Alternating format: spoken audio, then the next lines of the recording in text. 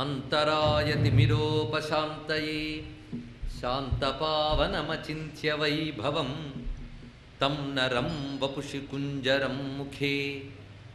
मन्महे किमपि तुम्दिलं महः।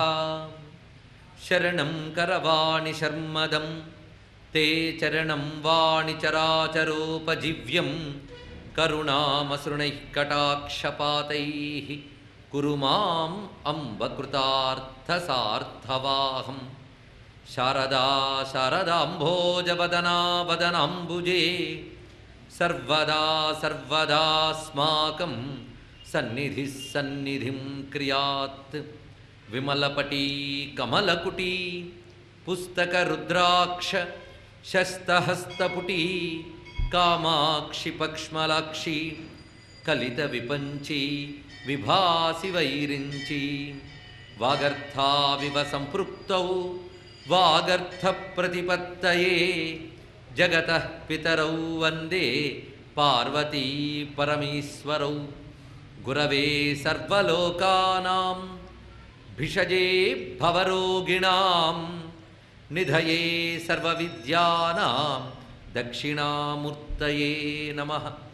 नारायणसमारम्भाम् व्यासशङ्करमध्यमाम् अस्मदाचार्यपर्यन्तां वन्दे गुरुपरम्परां नारायणं नमस्कृत्य नरं चैव नरोत्तमं देवीं सरस्वतीं व्यासं।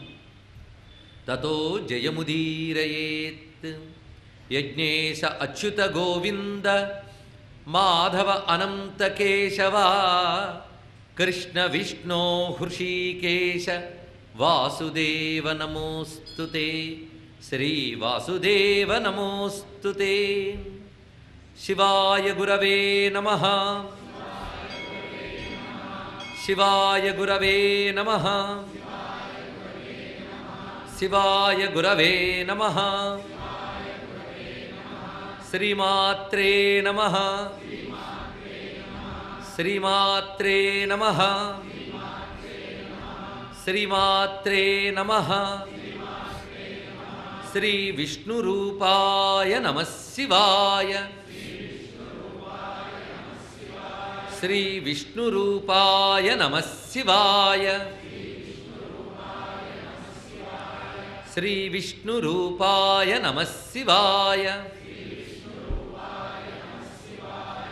నమో మహద్భ్యో ఋషిభ్యో గురుభ్యో నమ. శ్రీ శారదాచంద్రమౌళీశ్వరాభ్యాం నమ. శ్రీ జగద్గురవే శ్రీ శ్రీ శ్రీ భారతీతీర్థమహాస్వామిని నమో నమ. శ్రీ శ్రీ శ్రీ విధిశేఖర భారతీ స్వామినే నమో నమ. భగవన్మయమైన ఈ సభా సదస్సుకి శవనీయ నమస్సులు సమర్పణ చేసుకుంటూ అంబ జగదంబ శ్రీ సరస్వతీదేవి చరణారవిందాలకు చంద్రమౌళీశ్వరునికి నమస్కరించుకుంటూ ఈ రోజు నుంచి రెండు రోజుల పాటు ఇక్కడ శ్రీమద్ అజ్జాడ ఆదిభట్ల నారాయణదాసు గారు రచించిన మార్కండేయ చరిత్రను చెప్పుకోబోతూ ఉన్నాం. ఇక్కడున్న కొద్దిమంది శ్రోతలకు గతంలో నారాయణదాసు గారి సాహిత్యంలో కొన్ని విషయాలపై ప్రవచనం చేసిన అంశం గుర్తు ఉండే ఉంటుంటుంది.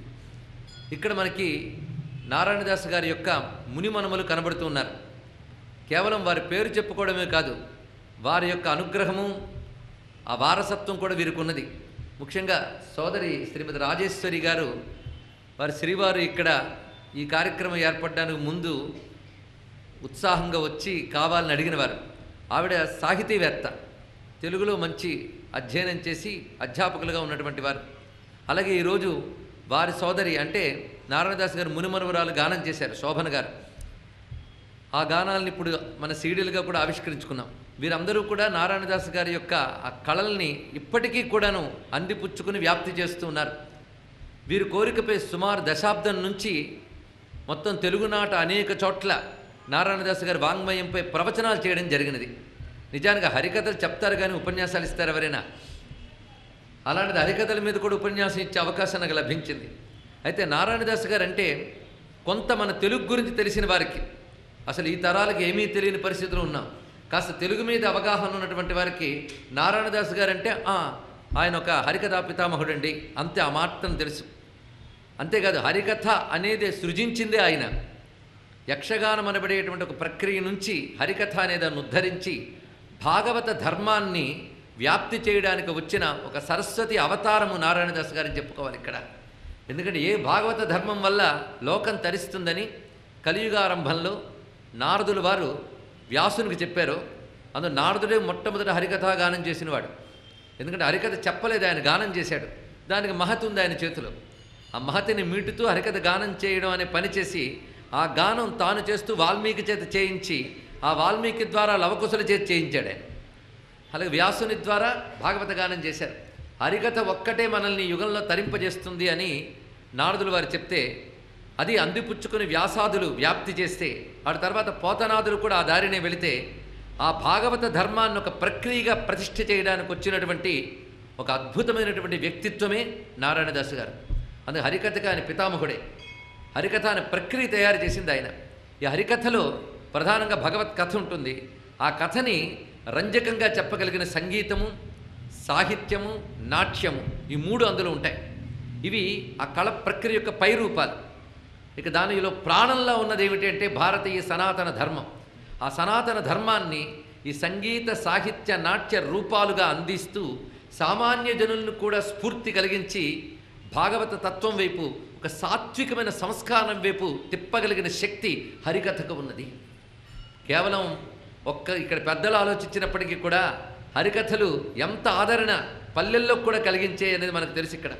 హరికథల ద్వారా జరిగిన ప్రయోజనం ఇది. ఒకవైపు దీనివల్ల బ్రతికినది ఏమిటంటే భాష బ్రతికింది. కళలు బ్రతికాయి. సనాతన ధర్మం ఉజ్జీవింపజేయబడింది ఇక్కడ. ఇన్ని ప్రయోజనాలు హరికథకున్నది అలాంటి హరికథ అనే దాన్ని ఇచ్చినటువంటి మహానుభావుడు దొరకడం తెలుగు భాష తెలుగు జాతి చేసుకున్నటువంటి గొప్ప అదృష్టం ఇది. అందున నారాయణదాస్ గారి విషయంలో తెలుగువారు గర్వించదగ్గ గొప్ప అంశములు చాలా ఉన్నాయి. కానీ తెలుగువారికి దుర్లక్షణం ఉంది. తెలుగులో పుట్టినంత మహానుభావులు ఇతర భాషల్లో పుట్టలేదని చెప్పవచ్చు. కానీ ఇతర భాషలు వాళ్ళు గుర్తించినంతగా తెలుగువారు తెలుగువారిని గుర్తించరని కూడా చెప్పుకోవాలి ఇక్కడ. నారాయణదాస్ గారు నిజానికి గొప్ప ఖ్యాతి పొందారు కానీ పొందవలసిన ఖ్యాతి పొందలేదని చెప్పుకోవాలి. ఆయన యొక్క విద్యను పరిశీలిస్తే సాక్షాత్తు ఆయన సరస్వతి స్వరూపమే. ఆ రోజుల్లో అందరూ ఆ భావన చేశారు. అంతేకాదు ఇతర రాష్ట్రాల్లో సంస్కృత హరికథలు కూడా చెప్పిన మహానుభావుడు ఆయన. ముఖ్యంగా మనందరం గర్వించదగ్గ ఒక అంశము స్వామి వివేకానందకి పాణిని అష్టాధ్యాయి బోధించినటువంటి వారు ఆదిభట్ల నారాయణదాస్ గారు. ఇది గుర్తుపెట్టుకోవాలి. వివేకానంద జయంతి చేసుకున్నాం. దీన్ని బట్టి మన నారాయణదాస్ గారి గురించి తెలుసుకోవాల్సింది ఎంత ఉన్నది. అందుకే చూడ్డానికి ఏదో హరికథ మీద ఉపన్యాసంలా చెప్పిన మన సంస్కృతి యొక్క గొప్పతనం చెప్పడానికి హరికథ అందున నారాయణదాస్ గారి హరికథ ఎలా పనిచేస్తోంది అని చెప్పి ఈ జాతికు స్ఫూర్తి కలిగించడమే ఈ ప్రవచనాల యొక్క ఉద్దేశం. అందుకే నారాయణదాస్ గారి వాంగ్మయంపై ఇప్పుడు అనేక ప్రవచనాలు చేయడం జరిగింది. యథార్థ రామాయణం అనే హరికథపై సప్తాహం చేసుకున్నాం విశాఖపట్నంలో. ఇదే బృందం వారు చేయించారు.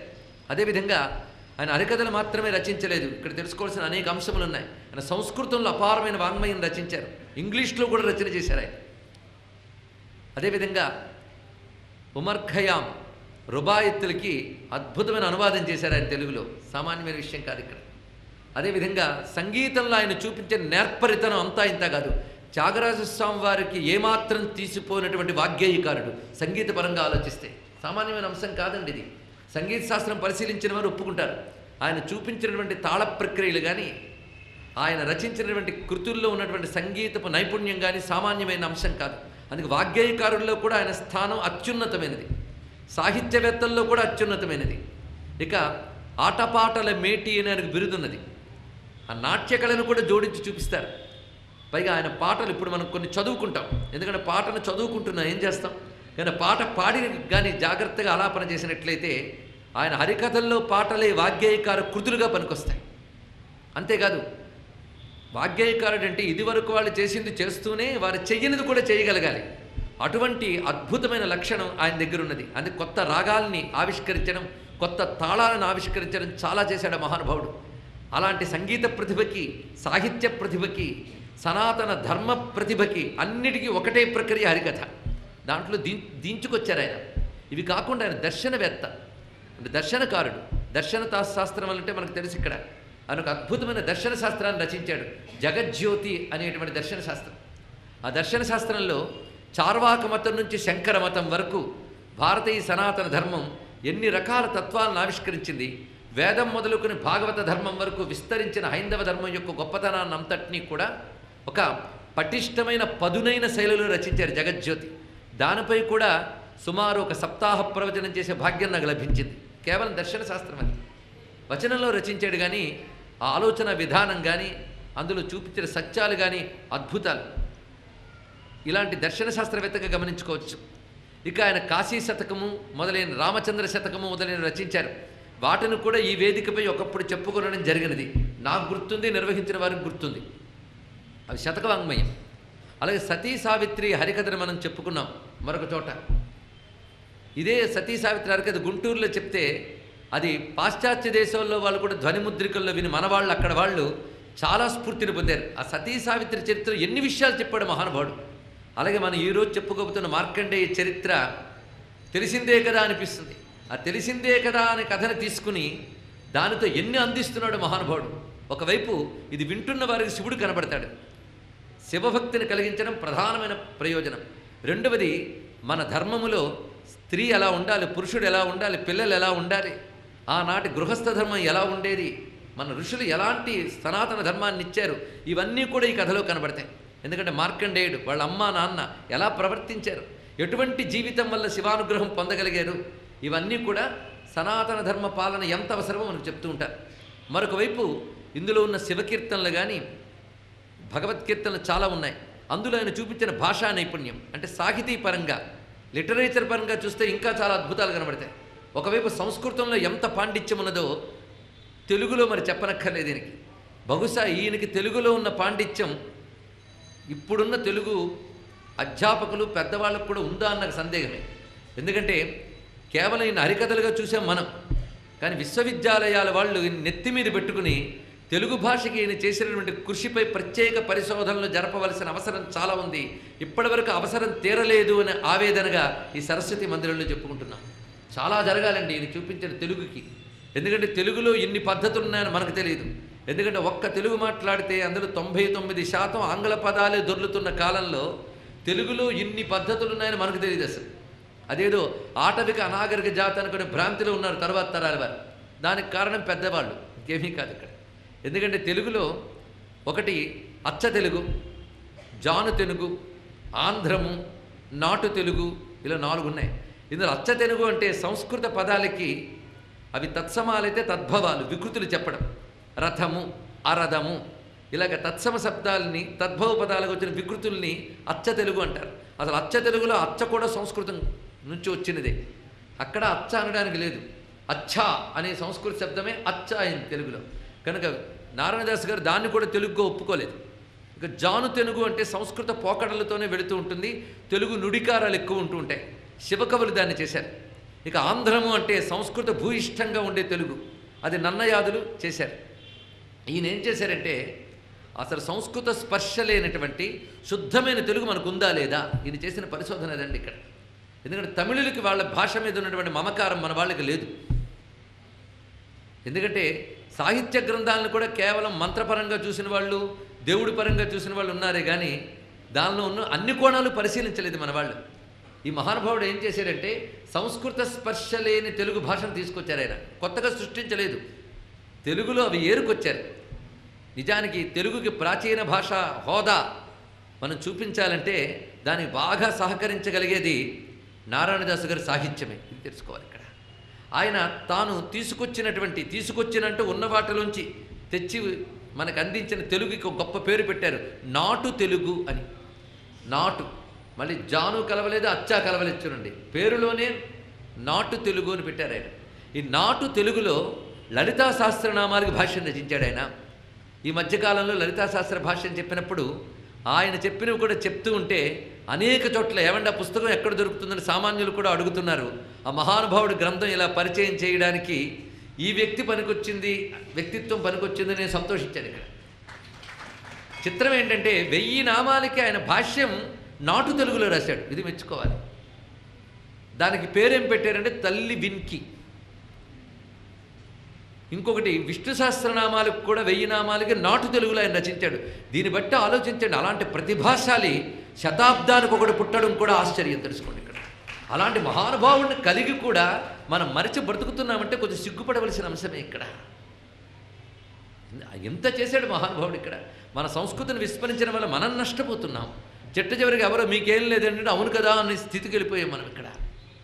అరే తమిళ సోదరులు మొదలైన వారు వారి భాషను రక్షించుకోవడానికి ఎంత తపరపడుతుంటే ఇంత అద్భుతమైన వాంగ్మయాన్ని ఆయన అందించాడంటే ఒక సంస్కృత శబ్దానికి సరైనటువంటి తెలుగు పదాన్ని పట్టుకొచ్చి చెప్పాలి అంటే ఎంత క్లిష్టమైన అంశం. అది చేశాడు ఆ మహానుభావుడు ఆ రోజుల్లో. దీనికి ఎంత తపస్సు ఎంత సరస్వతి అనుగ్రహం ఉండాలి. మైక్ వ్యవస్థ కూడా సరి అయిన సరిగ్గా లేని రోజుల్లో కేవలం కంఠధ్వని ఓళ్ళకు వినిపించేటట్టు చెప్పగలిగిన మహానుభావుడు ఆయన ఇక్కడ. అంతేకాదు ఆ విష్ణు సహస్రనామాలని తెలుగు చేసి వెన్నుని వేయి పేర్ల వినకరి అని పేరు పెట్టాడు. పేర్లు వింటేనే ఎంత బాగుంది చూడండి. వెన్నుని వేయి పేర్ల వినకరి. ఇది పెట్టాడు. అంతేకాదు ఋగ్వేదాన్ని ఋగ్వేదంలో ఉన్న మంత్రాన్ని నాటు తెలుగులో పద్యాల రూపంలో అందించారు ఆ మహానుభావుడు ఇక్కడ. ఇచ్చి దానికేం పేరు పెట్టాడు? మృక్కుబడి. చక్కని పేరు పెట్టాడు ఆయన మృక్కుబడి. ఇంకొక వైపు ఆయుర్వేద గ్రంథాన్ని తెలుగు చేశాడండి. ఆయుర్వేదం అంటే మెడిసిన్ అంటే ఒక శాస్త్ర గ్రంథం సైన్స్. దాన్ని తెలుగు చేశాడు. ఆ తెలుగు చేసేటప్పుడు దానికి టెర్మినాలజీ తయారు చేయాలి. ఇది మహా కష్టం అది. ఆయుర్వేదంలో సంస్కృతంలో ఉన్నాయి. దానికి టెర్మినాలజీ తయారు చేస్తూ రచించాడు. దానికి ఏం పేరు పెట్టారో తెలుసా? వేదానికి నాటు తెలుగులో ఏమంటారంటే మిన్కు అంటారు. శాస్త్రానికి మిన్కు అని పేరు. అది ఉందని మనకు తెలియదు దీనికంటే శాస్త్రమే అర్థమైంది. మిన్కు తెలియదు తెలుగు వాళ్ళంటే తెలుగు తెలియకుండా బతికే వాళ్ళని అర్థం అనమాట. మిన్కు. ప్రామిన్కు గమి పంట బట్టిన అంటారు మహానుభావుడు విశ్వనాథ సత్యనారాయణ గారు. ప్రామిన్కులు అన్నారు. అంటే పాత మినుకులు అంటే పాత విద్యలైన వేదాలని ప్రామిన్కులు అన్నారు. మిన్కు అంటే శాస్త్రము వేదము. ఆయువు అంటే మనికి. ఈ రెండు కలిపి మన్కి మిన్కు అని పేరు పెట్టాడు ఆయన. మన్కి మిన్కు. ఆయుర్వేదానికి మన్కి మిన్కు అని తెలుగు మాట ఇచ్చాడని తెలుగు సాహితీవేత్తలకు ఎంతమందికి తెలుసో చెప్పండి. టైటిలే మనకి ఇంకా శీర్షికే అర్థం కాలేదంటే ఇంకా ఎంత అధ్యయనం చేయవలసి ఉన్నది? ఆలోచించండి ఇక్కడ. ఇక్కడ ఈ మాటలు ఆఖరికి ఏమవుతున్నాయంటే సాహిత్యం చెప్పుకోవాలన్నా మనదైన సంస్కృతి చెప్పుకోవాలన్నా మన సంస్కృతిలో ఉన్న సాహిత్యం చెప్పుకోవాలన్నా పురాణాలు చెప్పుకునే వేదికలు దిక్కయ్యాయి. అన్నిటికీ పురాణమని మూట కట్టి పక్కన పెట్టేవాళ్ళు తయారయ్యారు. పురాణాలు చెప్పక్కర్లేదు. సౌందర్యలహరి చెప్పిన పురాణమే. అదేమిటో తెలియదు అసలు భారతం చెప్తే ఇతిహాసం పురాణం కాదు అది పురాణం అంటారు. అసలు పురాణాలు అసలు ఎవరు చెప్పడం లేదు మనం వినడం లేదని ఎవరికి తెలియదు కానీ అన్నిటికీ పురాణ కాలక్షేపం. అంటే ఏమిటంటే ఏది వింటే నిద్ర వస్తుందో అది పురాణం ఇది ఒక నిర్వచనం. ముసలి వాళ్ళందరూ ఇంట్లో నిద్ర పట్టక కాస్త కోడల నుంచి రక్షించుకోవడానికి వెళ్ళే చోటు పురాణం. ఇవి నిర్వచనాలు అయిపోయాయి మనకి ఇక్కడ. అదండి ఇప్పుడు మనం చెప్తున్నది మన సంస్కృతి. మన సంస్కృతి మర్చిపోవద్దు. పిల్లలకు అందాలి ఇది మనం గర్వించదగ్గ సంస్కృతి. ఎలాంటి నాగరికమైన భాషలో పుట్టి దాన్ని విడిచిపెడుతున్నాం ఆ పేర్లలోనే అంత గొప్పగా కనబడుతున్నది ఇక్కడ. ఇలాగ ఆయన నాటు తెలుగులో శాస్త్ర గ్రంథాలని భాష్య గ్రంథాలని రచించిన మహానుభావుడు. దానికి ఎంత ప్రతిభ ఉండాలి? ఎంత ప్రతిభాశాలి? అటు హిందీలో ఇటు ఆంగ్లంలో అటు సంస్కృతంలో మళ్ళీ మహాపండితుడు సామాన్యుడు కాడు ఇక్కడ. కనుక ఒక్క ఆయన నాటు తెలుగు గురించి మాట్లాడాలంటేనే నాకు ఐదు రోజులు పడుతుంది కనీసం. ఎంత చూపించాడు? ఇప్పుడు ఉపోద్ఘాతంగా మనం చెప్పుకుంటున్నాం. ఇక ఆయన హరికథల్లో మాత్రము తెలుగు సంస్కృతం అన్నీ కలిపి ఆనాటి వ్యవహార భాషని వాడాడు. శాస్త్రోచితంగా సందర్భోచితంగా అక్కడికి తగ్గ సంస్కృత సమాసాలు వేస్తాడు చక్కని తెలుగు పదాలు వేస్తారు అలా రచించినదంతా కూడాను ప్రధాన ఉద్దేశం మాత్రం భాగవత ధర్మ ప్రతిష్టాపన. ఎందుకంటే మహర్షులు చెప్పారు భాగవత ధర్మం వల్ల తప్ప మరొక మార్గం వల్ల మనం తరించలేము అని. ఆ మహానుభావుడు వ్యాసదేవుడే చెప్పినప్పుడు ఆ భాగవత ధర్మాన్ని ప్రజల్లోకి తీసుకురావడానికి ఆ మహర్షులు ఈయన్ని ఎంచుకున్నారేమో అనిపిస్తుంది. లేకపోతే స్వామి వివేకానందకే పాడిన అష్టాధ్యాయి మహానుభావుడు చెప్పాడు అంటే మనం ఎంత గర్వించాలండి అక్కడ? అలాంటి అందరూ ఖత్రి మహారాజు దగ్గర స్వామి వివేకానంద ఉన్న సమయంలో ఈయన కూడా అక్కడ ఉన్నారు. అప్పుడు అష్టాధ్యాయుని అతి కొద్ది రోజుల్లో ఈయన సంస్కృతంలో చెప్పగలిగారు. అతి కొద్ది రోజుల్లో ఆయన గ్రహించగలిగాడు. చెప్పేవారు నారాయణదాస్ గారు అయితే నేర్చుకునేవాడు వివేకానంద అయితే అది కొద్ది రోజుల్లో అద్భుతాలు చేయగలరు వాళ్ళు ఇక్కడ. అలాంటి మహానుభావుడు రచించిన మార్కండేయ చరిత్ర మనం చెప్పుకోబోతున్నాము అంటేనే ఒక ఆనందం కలుగుతుంది. అయితే మార్కండేయ చరిత్ర అందరికీ తెలిసిందే కదా? కనుక తీరుకుంటూ వస్తాం లేకపోతే లేదండి విన్న కథే. కదా? కాదు విన్న కథైనా చెప్పడంలో సొబగుంది. చిత్రం ఏంటంటే ఈ మహానుభావుడు కొన్ని పద్యాలను అలవోకగా చెప్తే మరణావస్థలోకి చేరుకున్న వాళ్ళు కూడా తిరిగి బ్రతికారు. ఈ మార్కండే చరిత్రలో కూడా ఒకానొక మృత సంజీవిని విద్యా రహస్యం మీద ఉంది. ఆయన రచించిన కూర్పులో అది ఉంది. ఆ రచనలో ఆ విధానం ఉన్నది. అందుకే ఈయన హరికథలు మహిమాన్వితాలు కూడా. చిత్రం ఏంటంటే కొద్ది దశాబ్దాల నుంచి మనం అనేక హరికథలు వింటూ ఉన్నాం. ఇప్పటికీ హరికథలు అంటే ఒక ఆదరణ ఉన్నది. అయితే హరికథల్ని అందించిన నారాయణదాస్ గారు మాత్రం ఉదాత్తత ప్రతి దాంట్లో చూపించారు ఆయన. ఎక్కడ లేఖితనం ఉండదు. ప్రజల్ని నవ్వించడానికని ఆ జోకులు ఈ జోకులు చెప్పి ఉదాత్తత దెబ్బతీయలేదు ఎక్కడా కూడా. మీరు పరిశీలించండి. ఆయన హరికథా వాంగ్మయం అంతా అలాగే ఉంటుంది. ఆయన హరికథలు పట్టుకుని తర్వాత చెప్పిన వాళ్ళు మాత్రము ప్రజల్ని రంజింపజేయడానికి రకరకాల విన్యాసాలు చేశారు. ఎందుకంటే అసలు సరుకు లేకపోతే విన్యాసాలు అవసరమవుతాయి. కానీ నారాయణదాస్ గారి దగ్గర అది అక్కర్లేదు. ఆ విన్యాసాలు లేకుండా విషయాన్ని ఆర్ద్రంగా పైగా ఒక మహా ప్రబంధాలకు ఉండవలసినటువంటి ఏ సంప్రదాయాలు పద్ధతులు ఉంటాయో హరికథలు అవన్నీ పెట్టాడు ఆయన. ఊరికనే సామాన్యులను రంజింపజేయడానికి చేసిన కథలు అని కాకుండా సాహిత్య దృష్టితో చూస్తే ఒక ప్రబంధానుకున్న శబ్దాలంకారాలు అర్థాలంకారాలు పాత్ర ఔచిత్యాలు వర్ణనలు ఇవి సాహితీపరమైన దృష్టి. అవన్నీ చూపిస్తాడు. పైగా రాగాలు ఎంచుకున్నా కూడాను ఆ సందర్భానికి తగ్గ రాగాన్ని సాహిత్యంలో రాగస్ఫురణని చూపిస్తూ రచించిన వైనం పరిశీలిస్తూ ఉంటే ఎన్ని కోణాల్లో మహానుభావుని చెప్పాలి? వాగ్గేయకారుడిగా ఆయన అంత గొప్పవాడు అనేది కొందరు ఈ మధ్య కీర్తనలు తీసుకొస్తున్నారు. ఇది ఒక ప్రయత్నం. యథార్థ రామాయణంలో కొన్ని కీర్తనలు ఇందులో ఉన్నాయి ఇక్కడ. యథార్థ రామాయణం పేరు పెట్టడమే మహానుభావుడు చేసిన గొప్ప పని. ఎన్ని ఆర్ద్ర సన్నివేశాలు ఉంటాయి అందులో. అది చెప్తూ ఉంటే ఏదో మామూలు అనుకున్నాం కానీ ఎంత అద్భుతం ఉందా అని శ్రోతలు అన్న వైనం ఉన్నాయి మార్కండేయ చరిత్ర కూడా అలాంటిది. ఈ మార్కండేయ చరిత్ర మనం ఇప్పుడు చెప్పుకోబోతున్నాం. ఎందుకంటే రెండు రోజుల్లో ఇది పరిసమాప్తి చేయాలి అంటే వ్యాఖ్యానిస్తూ వెళ్ళినా రెండు రోజులు సరిపోదు. కానీ ప్రధానమైన అంశంలో మనం చెప్పుకుంటూ ఒక అద్భుతమైన భాగవతోత్తముడి కథ. ఇది భాగవతమే. హరికథ అన్న హరకథ అన్న ఒకటేగా. అసలు హరికథ అని పేరు ఎలా వచ్చిందండి? ఆశ్చర్యం. సంగీత సాహిత్య నాట్యాత్మకమైన క్రియకి హరికథ అని ఆయన అన్నాడు. ఆయన అనగానే అందరూ అన్నారు. ఒక సభలో ఆయన వెళ్తే ఇవాళ హరికథ కాదు గిరికథ చెప్పండి అన్నట్ట. అప్పటికప్పుడు మహానుభావుడు గిరికథ చెప్పాడండి. అప్పటికప్పుడు. ఆశ్చర్యపోయారు అందరూ. అంత ప్రతిభాశాలి. కానీ ఆయన మొత్తం శివచరిత్ర రచన హరికథే. ఏది చెప్పినా హరికథే. మొత్తం మీద మార్కండేయ చరిత్ర హరికథ. కానీ ఇదంతా హరకథే. హరాహరి అన్న బాధలేదు కానీ ఈ మధ్య ఒక నవ్వుకోదగ్గ సంఘటన జరిగింది. ఈ మత మార్పులు చేస్తున్న వాళ్ళు ఏం తయారు చేస్తున్నారంటే హిందూ ధర్మాన్ని ఎలా దెబ్బతీయాలని చూసినా ఎలాగోలో బతికేస్తుంది హిందూ ధర్మం. వాళ్ళకి చాలా బాధగా ఉంది. కొన్ని వేదాలు పురాణాలు అందకుండా చేద్దాము అంటే త్యాగరాజ కీర్తన అన్నమయ్య కీర్తన బతికించేస్తుంది హిందూ ధర్మాన్ని చూడండి ఇక్కడ. పోనీ హరికథలు బుర్రకథలు కూడా బతికించేస్తున్నాయి. పండితులు అవన్నీ పాండిత్యము వేదములు చదువుకొనివ్వకుండా చేశాం. సంతోషం. వేద వేదాలు చదువుకున్న కుటుంబాల్లో వాళ్ళకు కూడా వేదంలో మాట కూడా రాదు. అంత దుస్థితికి దిగజార్చాం భారతదేశాన్ని అని సంతోషపడుతున్నారు వాళ్ళు. కానీ అదే సమయంలో హరికథలు బతికించేస్తున్నాయి. కనుక వాళ్ళు ఏం చేశారంటే మనం కూడా మన మత గ్రంథాలను కూడా కథల రూపంలో అందిద్దామని వాళ్ళ మత ప్రవక్త పేరు పెట్టి హరికథ అన్నారు. నవ్వుకోవాలి కానీ ఇంత మత ప్రవక్త కథకి హరికథ అని హరిని తెచ్చుకోవాల్సిన గతి ఏర్పడింది వాళ్ళకి చూడండి ఇక్కడ. అక్కడ కూడా హరి అంటే విన్నవాళ్ళు ఏమంటారు? మీ ప్రవక్త ఎందుకు మా హరి అలాగున్నాడు కదా అంటారు ఇక్కడ. ఆ హరికథ అని పేరు ఎలా పెట్టాడో నారాయణదాస్ గారు కానీ హరికథకు అంత గొప్ప శక్తి ఉందండి. అయితే ఈ హరికథ ప్రక్రియని సనాతన హైందవ ధర్మంలో ఉన్నటువంటి అన్ని సంప్రదాయాలు బతుకుతాయి కానీ ఇతర దేశాల నుంచి వచ్చిన ఇతర మతాల వాళ్ళు ఎన్ని వేషాలు వేసినా పులిని చూసి నక్కవాత పెట్టుకున్నట్టు ఉంటుందే కానీ నారాయణదాస్ గారు ఇచ్చిన హరికథ స్వభావం రాదు అని సవినయంగా సగర్వంగా వాళ్ళకి మనవి చేసుకుంటూ ఇప్పుడు ఈ మార్కండేయ చరిత్రలో మనం ప్రవేశించబోతున్నాం. ఎందుకంటే విశ్వనాథ వారు ఒక మాట చెప్తారు లోకంబు వీడి రసంబు లేదు అని ఒక మాట అన్నారు ఇక్కడ. కొందరు అంటూ ఉంటారు ఈ రచనలకి సామాజిక స్పృహ ఎక్కువ ఉంటుందండి. సమాజంలో బ్రతికిన ఎవరికైనా సామాజిక స్పృహ ఉంటుంది. తెలుసుకోండి ఇక్కడ. పోతన గారు ఆధ్యాత్మికంగా రచించారని సామాజిక స్పృహ లేదు కావలసినంత ఉంది. అరే సమాజం బాగుపడాలనే స్పృహతోనే వాళ్ళు రచించారు కనుక రచించిన ప్రతి వారికి సామాజిక స్పృహ ఉంటుంది. అయితే సామాజిక స్పృహ అని మాట్లాడే వాళ్ళకి అసలు ఉండవలసినటువంటి ధార్మిక స్పృహ లేదని అర్థం.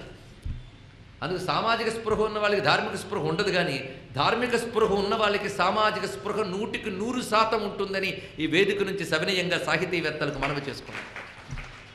ఈ మహానుభావుడు సమాజంలో దిగిపోయాడు. అతి సామాన్యులకు చేరువయ్యాడు. ఆ చేరువై పోతన గారి పద్యాలు కూడా అలవాటు చేయించారు ఈయన ఇక్కడ. ఎందుకంటే భాగవత ధర్మమే ఈయనకి ఇష్టం. అదే ఆయన జగజ్యోతులు కూడా అదే ప్రతిపాదన చేస్తారు. ఎందుకంటే హింస లేదు. కేవలం నిష్కపటమైన భక్తి. సాత్వికమైన మార్గం ఇవి తరింపజేస్తాయి.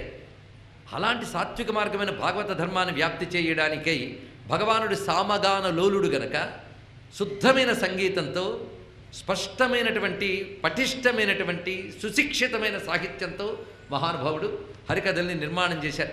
ఇప్పుడు ఈ మార్కండేయ చరిత్ర ఈ రెండు రోజులు శ్రద్ధగా విన్నవారికి ఈ కథలో ఉన్న మంత్రశక్తి రక్షించి ఆయురారోగ్యాలు ప్రసాదించుగాక అభీష్ట సిద్ధులు కలిగించుగాక ఉత్తరాయణ పుణ్యవేళలో మనం దీన్ని శ్రద్ధగా వినబోతూ ఉన్నాం.